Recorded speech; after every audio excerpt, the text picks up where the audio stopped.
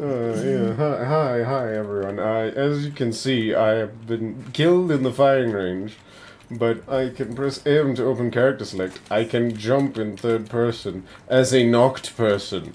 This is this Apex. You, you need to fix your game. Like, like I think this is a problem.